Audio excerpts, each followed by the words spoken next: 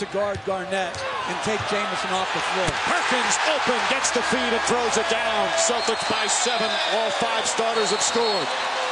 Timeout Cleveland.